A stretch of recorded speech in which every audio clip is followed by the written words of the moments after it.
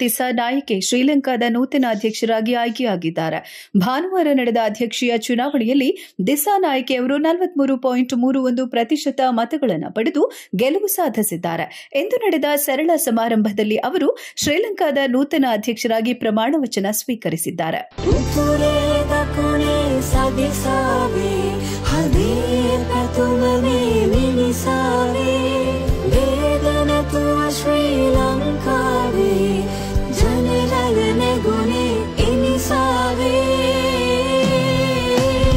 National people's power ಒಕ್ಕೂಟದ ಅಭ್ಯರ್ಥಿಯಾಗಿ ಮಾರ್ಕ್ಸ್ವಾದಿ ಜನತಾ ವಿಮುಕ್ತಿ ಪೆರೆಮುನಾ ಪಕ್ಷದಿಂದ ಕಣಕ್ಕಿಳಿದಿದ್ದ ದಿಸಾ ನಾಯಕೆ ತಮ್ಮ ಸಮೀಪದ ಸ್ಪರ್ಧಿ ಸಜಿತ್ ಪ್ರೇಮದಾಸ್ ಅವರೆದುರು ಜಯ ಸಾಧಿಸಿದ್ದಾರೆ. ಪ್ರತಿಪಕ್ಷದ ನಾಯಕ ಸಜಿತಾ ಪ್ರೇಮದಾಸ್ ಅಚ್ಚರಿ ಎನ್ನುವಂತೆ ಇಪ್ಪತ್ತೆರಡು ಪ್ರತಿಶತ ಮತಗಳನ್ನು ಪಡೆದು ಎರಡನೇ ಸ್ಥಾನ ಪಡೆದುಕೊಂಡಿದ್ದಾರೆ. ಹಾಲಿ ಅಧ್ಯಕ್ಷ ರನಿಲ್ ವಿಕ್ರಮ್ ಸಿಂಗ್ಗೆ ಮೂರನೇ ಸ್ಥಾನಕ್ಕೆ ತೃಪ್ತಿ ಪಟ್ಟುಕೊಂಡಿದ್ದಾರೆ ಇನ್ನು ಚುನಾವಣಾ ಪ್ರಕ್ರಿಯೆ ಹೇಗೆ ನಡೆಯುತ್ತೆ ಅಂತ ನೋಡೋದಾದ್ರೆ ಶ್ರೀಲಂಕಾದ ಹದಿನೇಳು ಕೋಟಿ ಹದಿನಾಲ್ಕು ಲಕ್ಷದ ಮೂರು ಸಾವಿರದ ಮುನ್ನೂರ ಐವತ್ನಾಲ್ಕು ಅರ್ಹ ಮತದಾರರಲ್ಲಿ ಶೇಕಡ ಎಪ್ಪತ್ತೈದು ಮತದಾರರು ತಮ್ಮ ಮತವನ್ನು ಚಲಾಯಿಸಿದ್ರು.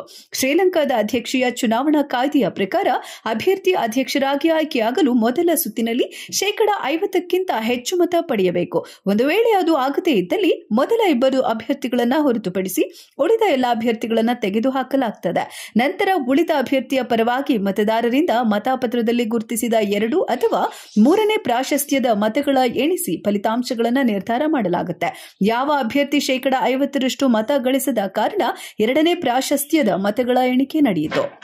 ಇಲ್ಲಿಯವರೆಗೆ ಶ್ರೀಲಂಕಾದಲ್ಲಿ ಯಾವುದೇ ಚುನಾವಣೆಯು ಎರಡನೇ ಸುತ್ತಿನ ಪ್ರಾಶಸ್ತ್ಯದ ಮತ ಎಣಿಕೆಗೆ ಹೋಗೇ ಇಲ್ಲ. ಆದರೆ ಇದೀಗ ಮೊದಲ ಬಾರಿಗೆ ಶ್ರೀಲಂಕಾ ಅಧ್ಯಕ್ಷೀಯ ಚುನಾವಣೆ ಎರಡನೇ ಸುತ್ತಿನ ಮತ ಎಣಿಕೆಗೆ ಸಾಕ್ಷಿಯಾಯಿತು. ಜೆವಿಪಿ ನಾಯಕ ಅನುರಾಗ್ ಕುಮಾರ ದಿಸಾನಾಯಕೆ ಗರಿಷ್ಠ ಮತಗಳನ್ನು ಪಡೆದು ಜಯಗಳಿಸಿದ್ದು ಸಜಿತ್ ಪ್ರೇಮದಾಸ ಎರಡನೇ ಸ್ಥಾನ ಮತ್ತು ಹಾಲಿ ಅಧ್ಯಕ್ಷ ರನಿಲ್ ವಿಕ್ರಮಸಿಂಘೆ ಮೂರನೇ ಸ್ಥಾನ ಗಳಿಸಿದ್ದಾರೆ. ಅಂತ ಚುನಾವಣಾ ಆಯೋಗ ಪ್ರಕಟಿಸಿದೆ.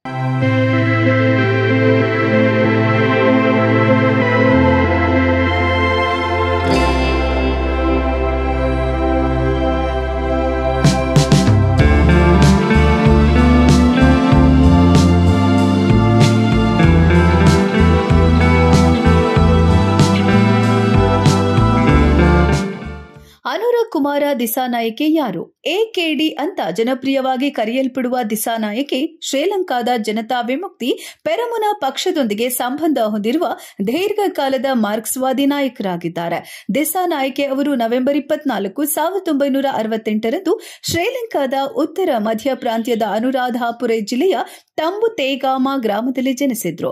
ಅವರು ತಮ್ಮ ವಿದ್ಯಾರ್ಥಿ ಜೀವನದಲ್ಲಿಯೇ ಜೆವಿಪಿಯ ಚಟುವಟಿಕೆಗಳಲ್ಲಿ ಭಾಗವಹಿಸಲು ಪ್ರಾರಂಭಿಸಿದ್ರು.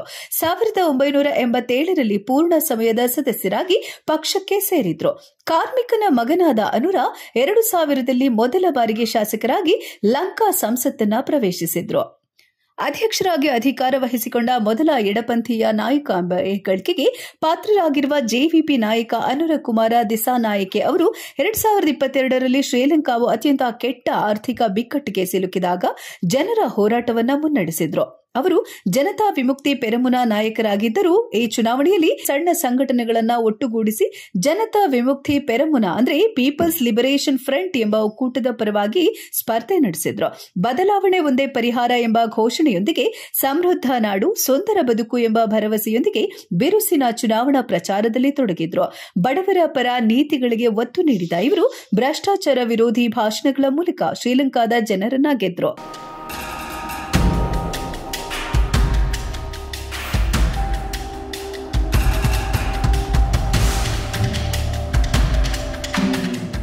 ದಿಸಾನಾಯಕಿ ಅವರು ಎಕ್ಸ್ಪೋಸ್ಟ್ನಲ್ಲಿ ಜನತೆಗೆ ಧನ್ಯವಾದ ಹೇಳಿದ್ದು, ಅವರ ಹೃದಯ ಸ್ಪರ್ಶಿ ಮಾತುಗಳು ಹೀಗಿವೆ.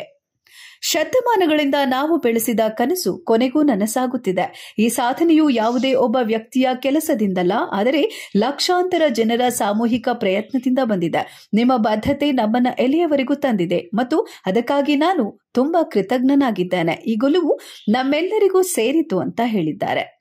ಇಲ್ಲಿನ ನಮ್ಮ ಪಯಣವು ಈ ಕಾರಣಕ್ಕಾಗಿ ತಮ್ಮ ಬೆವರು, ಕಣ್ಣೀರು ಮತ್ತು ಅವರ ಜೀವನವನ್ನು ಸಹ ನೀಡಿದ ಅನೇಕರ ತ್ಯಾಗದಿಂದ ಸುಗಮವಾಗಿದೆ. ಅವರ ತ್ಯಾಗವನ್ನ ಮರೆಯಲಾಗುವುದಿಲ್ಲ. ನಾವು ಅವರ ಭರವಸೆಗಳು ಮತ್ತು ಹೋರಾಟದ ರಾಜದಂಡವನ್ನ ಹಿಡಿದಿದ್ದೇವೆ. ಅದು ಹೊತ್ತಿರುವ ಜವಾಬ್ದಾರಿಯನ್ನ ಅರಿತುಕೊಳ್ಳುತ್ತೇವೆ. ಭರವಸೆ ಮತ್ತು ನಿರೀಕ್ಷೆಯಿಂದ ತುಂಬಿದ ಲಕ್ಷಾಂತರ ಕಣ್ಣುಗಳು ನಮ್ಮನ್ನ ಮುಂದಕ್ಕೆ ತಳ್ಳುತ್ತೆ ಮತ್ತು ಒಟ್ಟಾಗಿ ನಾವು ಶ್ರೀಲಂಕಾದ ಇತಿಹಾಸವನ್ನ ಪುನಃ ಬರೆಯಲು ಸಿದ್ಧರಾಗಿರುತ್ತೇವೆ ಅಂತ ದಿಸಾನಾಯಕೆ ಬರೆದುಕೊಂಡಿದ್ದಾರೆ. ಒಟ್ಟಾರೆ ಶ್ರೀಲಂಕಾದ ಚುನಾವಣೆ ಹಲವು ದಾಖಲೆಗಳನ್ನು ಸೃಷ್ಟಿಸಿದೆ. ಎರಡ್ ಸಾವಿರದ ಹತ್ತೊಂಬತ್ತರ ಅಧ್ಯಕ್ಷೀಯ ಚುನಾವಣೆಯಲ್ಲಿ ಕೇವಲ ಮೂರು ಪ್ರತಿಶತದಷ್ಟು ಮತಗಳನ್ನು ಪಡೆದಿದ್ದ ಜೆವಿಪಿಗೆ ಈ ಗೆಲುವು ಪ್ರಮುಖ ರಾಜಕೀಯ ತಿರುವನ್ನು ನೀಡಿದೆ. ಶ್ರೀಲಂಕಾದ ಮುಂಬರುವ ಸಾಲು ಸಾಲು ಸವಾಲುಗಳನ್ನು ದಿಸಾ ನಾಯಕೆ ಹೇಗೆ ನಿಭಾಯಿಸ್ತಾರೆ ಅನ್ನೋದನ್ನ ನೋಡಬೇಕಾಗಿದೆ.